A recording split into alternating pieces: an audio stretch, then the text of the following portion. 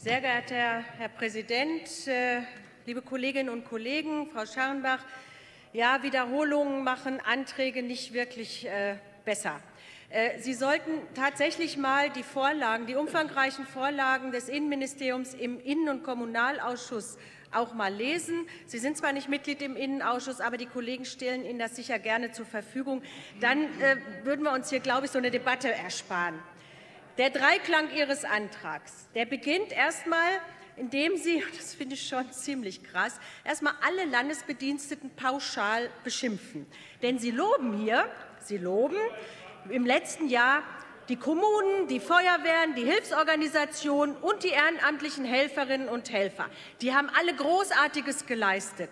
Nur alles, was Land angeht, muss ja in die Arithmetik passen, hat komplett versagt. Frau Scharrenbach, wissen Sie eigentlich, was Sie damit sagen?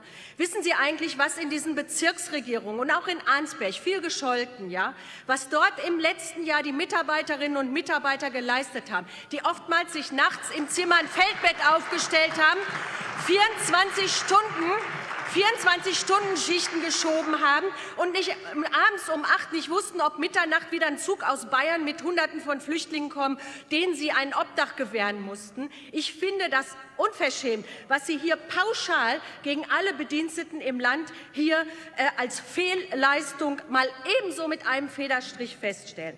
Zweitens, nach dieser Beschimpfungsorgie Natürlich sind auch Fehler gemacht worden. Bin weit davon entfernt, das alles schön zu reden. Aber so einfach ist die Welt nicht. Zweitens, ausführliches Lamento über zwei Seiten zu Allgemeinplätzen. Der Kollege hat es gerade schon mal ausführlicher dargestellt, die längst umgesetzt werden. Regional gerechte Verteilung. Ja, wenn Sie das Konzept mal lesen würden, steht drin. Der gesetzliche Auftrag ist Ziel, den zu erfüllen. Selbstverständlich erfüllen wir den. Passive, flexible Reserven machen, steht auch im Konzept. Flexibilität bei der Zahl der Erstaufnahmeplätze haben wir durch ein gestaffeltes System. Amtshilfe ersuchen äh, brauchen wir nicht mehr, machen wir ja auch nicht mehr. Verantwortlicher Umgang mit staatlichen Ressourcen. Ja, nach diesen Allgemeinplätzen, die wir, glaube ich, nicht brauchen, wenn Sie, wie gesagt, hier mal drauf schauen würden, was das Land an Konzepten vorliegt, äh, kommt dann bekannter an wirklich äh, Forderungen alter Wein in neuen Schläuchen, der auch niemandem weiterhilft. Wir haben es hier, ich glaube, mindestens schon zweimal ähm, diskutiert. Ihren Vorstoß Asylsuchende mit niedriger Bleibewahrscheinlichkeit, Sie können es ja auch heute nicht definieren, wer das denn ist, äh, sollen in die Landeseinrichtungen zurücküberwiesen werden. Und auch hier, Frau Scharnbach, äh, ist das eigentlich durchdacht. Auch das habe ich Ihnen bei dem letzten Antrag, wo Sie genau dasselbe schon mal gefordert haben für Westbalkan, das wollen Sie jetzt noch ausdehnen, äh, ob das wirklich zu Ende gedacht ist. Wir haben ungefähr haben wir 100.000 Menschen, die nicht wegen des Landes den Kommunen zugeteilt wurden äh, und ohne Antragstellung, sondern wegen fehlender Kapazitäten beim BAMF noch keinen Asylantrag hier in Nordrhein-Westfalen stellen konnten. Ja, da haben wir auch viele bei, viele bei mit einer niedrigen Bleibewahrscheinlichkeit. Die leben zum Teil ein Jahr, zum Teil zwei Jahre warten die Menschen überhaupt einen Antrag zu stellen in den Kommunen. Die Kinder gehen zur Schule. Die Kinder haben Schulfreunde gefunden. Sie sind im Sportverein, spielen in der Fußballmannschaft mit. So, und dann steht jetzt Frau Scharrenbach da und sagt, so, Koffer packen, ihr geht jetzt alle zurück in die zentrale Einrichtung des Landes. Hier ist mal Schluss mit lustig. Sagen Sie mal, haben Sie das eigentlich zu Ende gedacht, was Sie hier fordern? Ich finde das nicht nur inhuman, sondern organisatorisch überhaupt nicht umsetzbar. Zweites, was Düker, wirklich nach vorne geht. Sie eine Zwischenfrage von Frau Bitte. Scharrenbach? Das ist nett von Ihnen. Vielleicht hilft es ja weiter, dass wir da mal klar. Mit Sicherheit. Hören Sie gut zu. Vielen Dank, Herr Präsident. Vielen Dank, Frau Düker. Ähm, vorab haben wir in dem Antrag die gewaltige Gemeinschaftsleistung von Staat und Bürgerschaft gelobt. Das vielleicht ihrer, zu Ihrer Kenntnis. Zu dem ähm, Zurückholen. Selbst der Rat der Stadt Essen hat kürzlich in diesem Jahr eine entsprechende Resolution verabschiedet, wo er genau das auch fordert. Sie wissen, dass beispielsweise der Kreis Unna über eine hohe Belastung verfügt. Und deshalb möchten wir gerne von Ihnen wissen, werden Sie denn den Kommunen insbesondere die Integrationsaufwendungen für Personen, die aus den sicheren Herkunftsstaaten kommen und denen mit hoher Wahrscheinlichkeit der Asylantrag abgelehnt wird, zu 100 Prozent erstatten? Oder erwarten Sie, dass die Kommunen das vollständig selbst leisten? Ich stelle Ihnen eine Gegenfrage. Unterstützen Sie, nein, ich beantworte sie aber auch, aber ich stelle Ihnen eine Gegenfrage.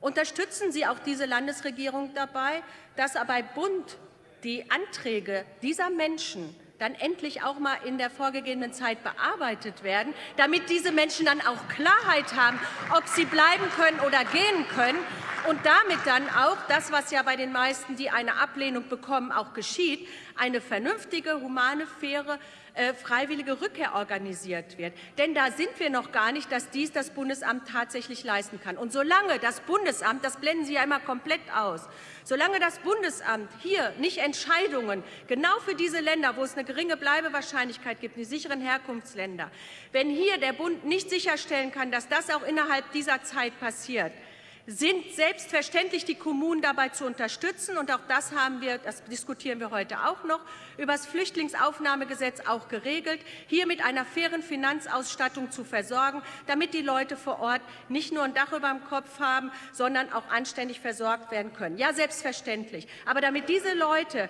endlich auch Sicherheit darüber haben, was mit ihnen passiert, das ist nicht das Land, das ist das Bund. Und diese Zuständigkeit kennen Sie. Und aus dieser Verantwortung, da, das blenden Sie natürlich komplett aus. Insofern, ja, selbstverständlich werden wir hier die Kommunen fair und vernünftig ausstatten, aber der Bund muss hier auch seine Verantwortung übernehmen.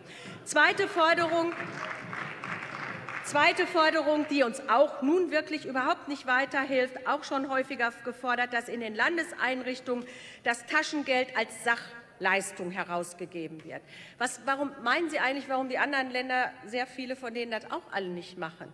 weil das nicht nur für die Menschen schwierig ist, sondern weil das einfach ein bürokratischer Aufwand ohne Ende ist, wie Sie hier in dem kleinen Taschengeld noch eine anteiligen, weiß ich nicht, ein Viertel Mobilitätsticket oder was auch immer, die in dem Taschengeld ja per, äh, per Gesetz festgelegt ist, wie Sie das in eine Sachleistung umwandeln wollen. Meinen Sie denn, die Betreiber dieser Unterkünfte des Landes haben nichts anderes zu tun, als sich mit umfangreichen Tabellen und äh, irgendwelchen gearteten Sachleistungen, die Sie da abgepackt vorrätig halten, hier das umzusetzen? Da haben wir doch weiß Gott was anderes in den Unterkünften zu tun als dies. Und deswegen macht das im Übrigen auch die anderen Bundesländer nicht. Also, das sind eigentlich die Dinge, wo ich hier auch gerne noch mal eine Gegenposition äh, vortragen will. Alles andere ist tatsächlich ähm, sehr stark redundant, um es vorsichtig auszudrücken, und aus unserer Sicht komplett überflüssig und hilft in der Sache im Moment überhaupt nicht weiter. Ich stimme dem Kollegen ähm, äh, ähm, wo sitzt er, dem Christian Dahm zu, tatsächlich das, worauf wir uns jetzt konzentrieren müssen, ist für die Integration in den Kommunen zu sorgen. Und da ist noch lange nicht alles in guten Händen und das ist noch lange nicht alles auf einem guten Weg. Das ist das Ziel. Der Gesamtkomplex Erstaufnahmeeinrichtung, glaube ich, ist konzeptionell inzwischen gut aufgestellt und ich glaube, dass wir da auch die nötigen Konzepte durch das Land haben. Da brauchen wir diesen Antrag nicht.